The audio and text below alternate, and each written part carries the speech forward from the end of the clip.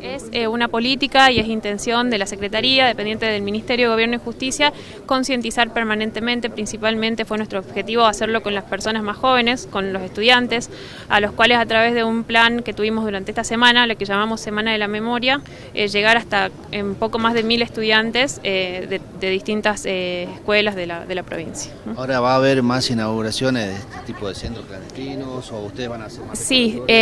todavía hay para señalizar unos cuantos más y sí se va a seguir cumpliendo la ley efectivamente como lo venimos haciendo hasta ahora. ¿Cómo toman este 24 de marzo?